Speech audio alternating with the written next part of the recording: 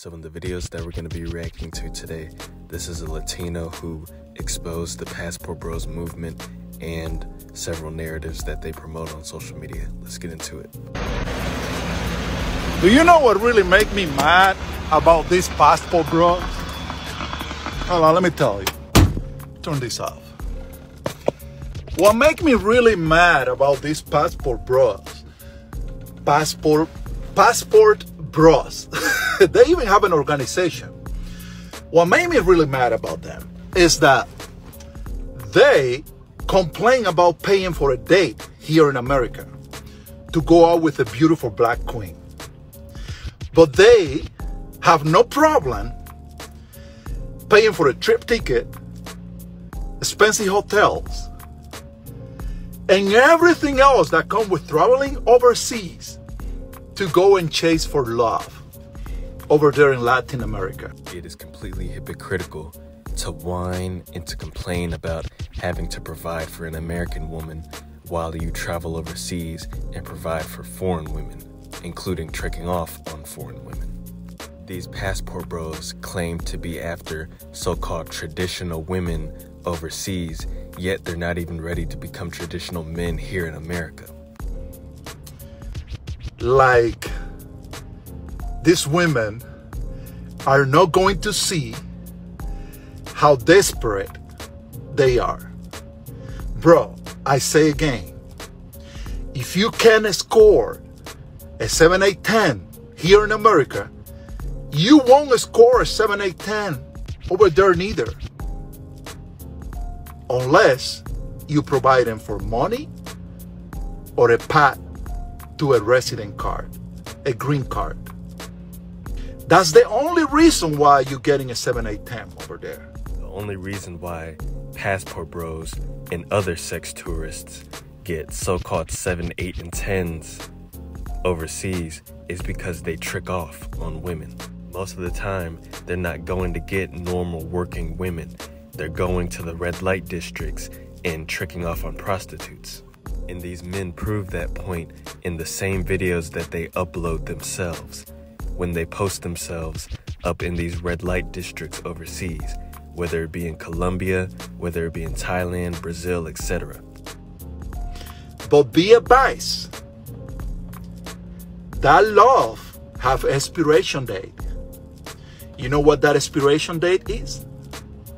Three years. Because that's when he that's when she gonna get her permanent resident card.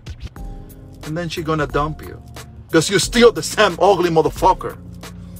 You see, let me explain something that these passport bros don't understand.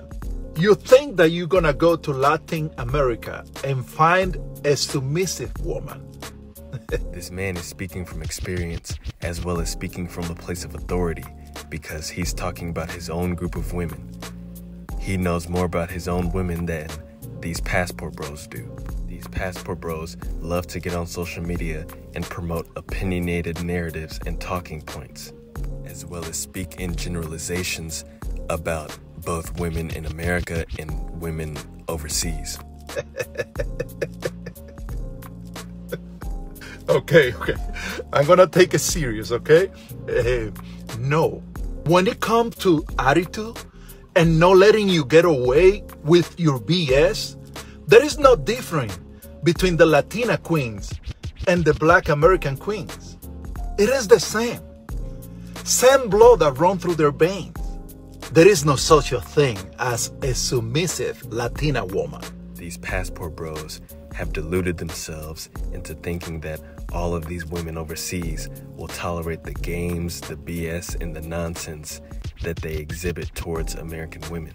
And that is pretty much one of the main premise of their desire to travel overseas. They want to engage with women who don't expect anything from them, who don't hold them accountable. Just like how many American women hold them accountable and don't let them get away with nonsense. They are gonna play you until they get what they want the moolah, the visa, the green card. But I can promise you that sooner or later, you're going to find out the hard way that just like the black American queens, they are not gonna let you get away with your BS. Sooner or later, they are gonna find out that you are the same ugly motherfucker. Cheater, tie with money, that just don't know how to take care of a woman. So, the problem is no American women. The problem is you. You are the common denominator here. And it doesn't matter where you travel to, you are still bringing yourself with yourself. So, sooner or later, that Latina gonna see who you really are. That is factual. The common denominator in all of these so-called situations with American women is them. Instead of fixing their problems and holding themselves accountable, they would rather point fingers and blame women.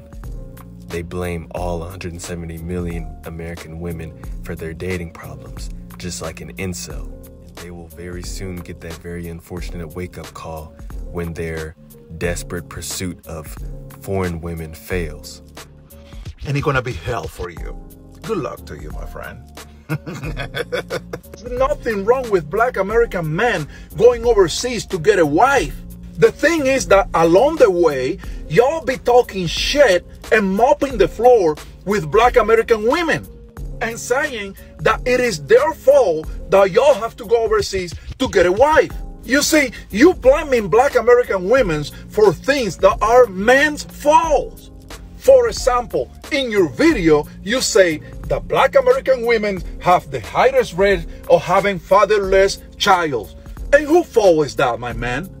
These self-hating black men, whether they happen to align themselves with the Passport Bros movement, SYSBM, or any other black manosphere movement, love to blame black women for all of their problems. Just like the example that this man brought up about fatherless children. It is not the black woman's fault for a black man's decision to leave his child and to leave his the mother of that child. These men are not mature. These men have the mindsets of teenagers. These men are not ready to grow up and accept responsibility and accountability for their own lives and the decisions that they make. Like I've said several times before, blaming women for all your problems is what an incel would do. And the term incel perfectly describes most of these men. You could blame her for being with the wrong guy. You could blame her for having a child before getting married. But that doesn't change the fact that a black man is the one that abandoned that child. Start taking responsibility for your own. These men are not ready to grow up. These are grown 30, 40, 50, 60 plus year old men acting like a bunch of petulant children, pointing fingers like a toddler. Grow up and accept responsibility for the decisions that you choose to make in your own life instead of blaming black women for all your problems. And it's going to be a very rude awakening for these types of men if they think that they can just go overseas and that all of these foreign women will openly accept their incel attitude and their incel behavior. You know, maybe these men should cut down on all the tricking that they do overseas and invest in some therapy because obviously they're in dire need of it. But I hope you all enjoyed. You know, many more videos to come to the channel. Stay tuned. Like if you enjoyed, subscribe if you're new, and have a good one.